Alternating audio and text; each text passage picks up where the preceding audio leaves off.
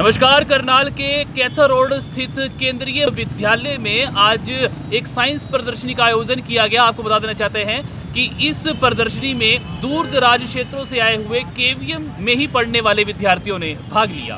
देखिए तस्वीरें।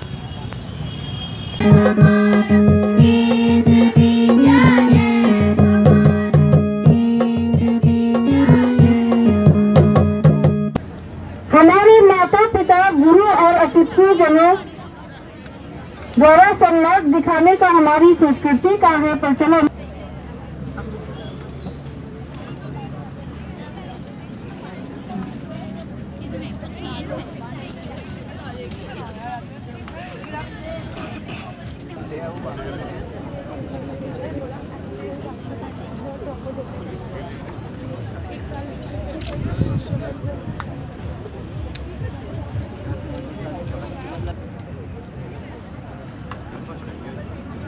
का चलन प्रत्येक कार्य को निर्विघ्न सफल और मनोरथ विशिष्ट जी क्या कहना चाहेंगे?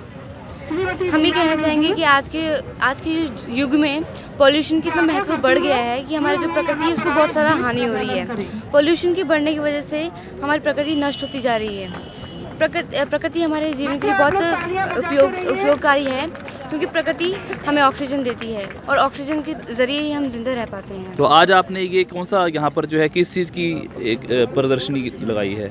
यहाँ मैंने बताया कि हम पॉल्यूशन को कैसे कम कर सकते हैं। जैसे ही सारे के सारे यहाँ पर बिल्डिंग्स हैं बिल्डिंग्स के जो सारे का सारा जो वेस्ट है वो वाटर ट्रीटमेंट प्लांट में जाएगा और जो भी मेटल इंडस्ट्री टॉक्सिक या जो भी वेस्ट है, वो सारा वाटर ट्रीटमेंट प्लांट में जाता है, क्योंकि उसमें पानी भी होता है और जो बाकी के वाटर में केमिकल्स होते हैं, वो सॉलिड वेस्ट अलग हो जाएगा और जो हम लिक्विड वेस्ट है, वो हम थर्मल पावर प्लांट में चले जाए थर्मल पावर प्लांट में भेज देंगे। वहाँ पे कोल की मदद से वो पानी हीट होगा। हीट होने के बाद उसको, उससे हम इलेक्ट्रिसिटी भी जनरेट कर सकते हैं। इलेक्ट्रिसिटी जनरेट होने के बाद उस वाटर को हम कूल होने के लिए कंडेंसर में भेज देंगे। क्योंकि अगर हम वार्म वाटर अगर रिवर्स में फ्लो कर देंगे तो उसमें एक्वेटिक लाइफ के लिए डेंजर है। तो जब वो वाटर कूल हो जाएगा तब हम उसको रिवर्स में फ्लो कर देंगे या, या फिर हम अपने खेत में यूज़ कर सकते हैं। और दूसरी तरफ़ हमने यहाँ पे यूज़ किया ब्रिक किलन ब्रिक किलन से हमें पता है कि एग्जॉस्ट बहुत ज़्यादा होता है। उसमें कार्बन डाइऑक्साइड कार्बन मोनोऑक्साइड और बहुत सारे एंटीऑक्सीडेंट्स निकलते हैं जो हमारे शरीर के लिए बहुत हानिकारक हैं। कहाँ से आए हैं आप? के वी पालस भिवानी। जी कैसी प्रदर्शनी दिखा रहे हैं आज आप पे? आज मैं सीवेज प्लांट ट्रीटमेंट के ऊपर दिखा प्रदर्शनी दिखा रहा हूँ। इसमें पावर हाउस है और एक लैब भी है। पहले ये जो कॉलोनी होती है इसमें से सारा सीवेज रिसीविंग टैंक में आता है। ये रिसीविंग टैंक होता है। फिर इस रिसीविंग टैंक में से ग्रेट चैम्बर में आता है, जहाँ पे सारे फ़िल्टर पार्टिकल्स जो हैवी होते हैं, वो सेटल डाउन हो जाते हैं ड्यू टू ग्रेविटी की वजह से। और वो वाटर है, वो आगे चला जाता है। और आगे सेडिमेशन टैंक में जो ग्रिड चैम्बर में सेटल नहीं होते हैं, वो आगे जाकर सेडिमेशन टैंक में सेटल हो जाते हैं। उसके बाद एरिएशन टैंक में जाते हैं। एरिएशन टैंक में बबल्स फॉर्म होते हैं, जो कि हेल्प करते हैं रिमूव बायोलॉजिकल वेस्ट मेटर जो होते हैं उसे ख़त्म कर देते हैं और आगे फ़िल्टर वाटर हो जाता है और वही फ़िल्टर वाटर कॉलोनी में सप्लाई किया जाता है थैंक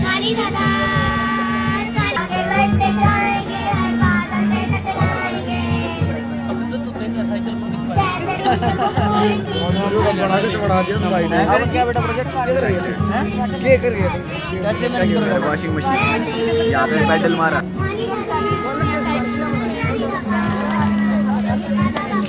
कहना चाहेंगे जी, कैसा प्रोग्राम है ये? ये केंद्रीय विद्यालय संगठन गुड़गांव संभाग की ओर से संभागीय स्तर प्रतियोगिता है, जिसमें हरियाणा और हिमाचल प्रदेश के सभी केंद्रीय विद्यालय के बच्चे छः सब थीम के ऊपर अपनी प्रदर्शनी लेकर आए हैं। इनके साथ साथ इनके बीच में एक क्विज कंपटीशन भी होना है और सेमिनार भी होना है।